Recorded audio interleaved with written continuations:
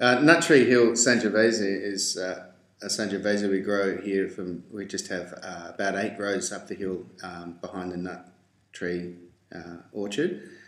And um, we've been growing Sangiovese here for nearly 20 years.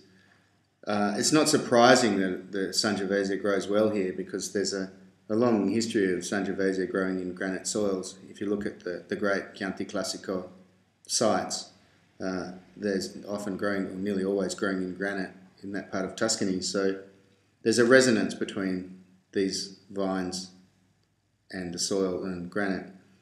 It throws up a wine that's quite different, um, and particularly in the world of Shiraz, this is wonderfully varied. That it's much more black cherry um, and earthy kind of aromas, um, and then on the palate there's much uh, more structured tannin, and it really does help cut through um, with rich food as well. So I think it's a much uh, more chewy, I suppose, is one way to describe it. But uh, we drink this at home with ossobuco, and it's just delicious.